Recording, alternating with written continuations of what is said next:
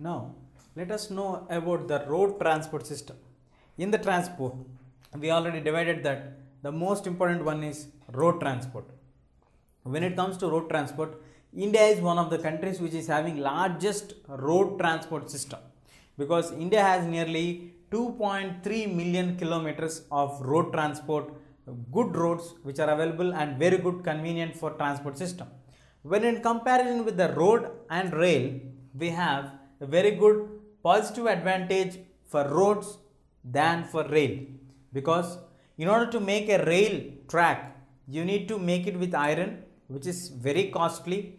But in order to make road it is not so costly. So comparatively making a road is very convenient and very less cost when compared to laying a railway track.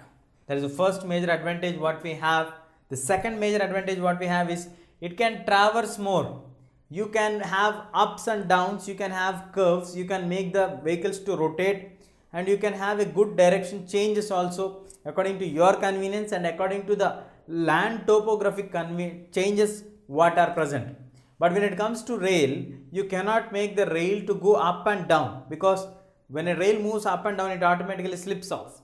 So it's very very difficult to maintain such kind of transport or traverse directions or any changes in the track routes because it should go straight. It cannot turn uh, regularly. It has to be turned at a certain angles. Whereas road we can have various number of direction changes turns. We can go fast. We can reduce the speed very easily. Whereas rail connectivity and all it's very difficult.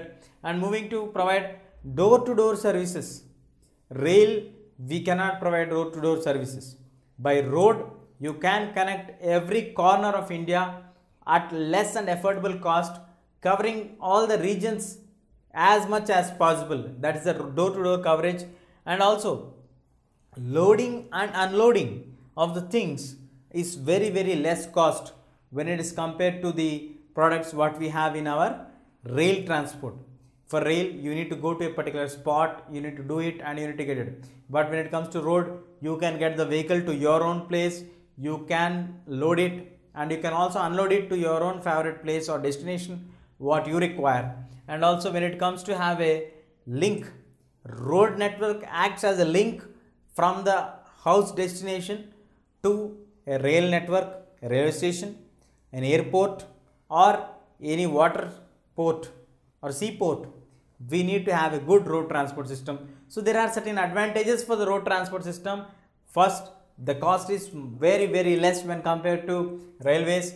We can have traverse or changes in the directions what we travel we can provide door to door services we can have loading and unloading at very less cost. At the same time we can also have a link to the rail air or water destination points like railway station airport and seaport so that we can travel to that particular direction by using road.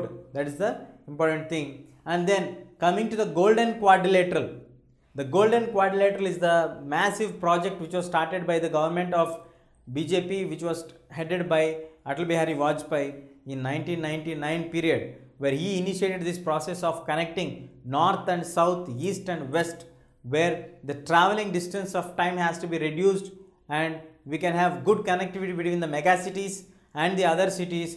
So he started the golden quadrilateral connecting north and south from delhi to chennai via we have a road coming from delhi to mumbai mumbai to chennai and mumbai to chennai well as chennai to we also have kolkata kolkata again connecting it to delhi. So all the four mega metropolitan cities are connected using this quadrilateral which is run by the national highway authority of india nhai which is a six laner it is a six laner and it has a good connectivity. And this is controlled by the government of india union government of india which was a very good step. And after this golden quadrilateral we also have many national highways. The national highways are the highways which are connecting the state capitals to the national capital. Like for example from hyderabad you can connect it to delhi. The road which connects hyderabad to delhi is called a national highway when we talked about the golden quadrilateral you may get a doubt that delhi and mumbai they are both are getting connected yes but it is a part of connecting the four mega cities But here we are discussing about all the other states capitals getting connected with the national capital. There only four mega cities are connected. Here all the other cities are also connected to the national capital. That's why it is having National Highways Authority and these are maintained by the Central Public Works Department, the CPWB. CPWD and this also connects the north and south, east and west.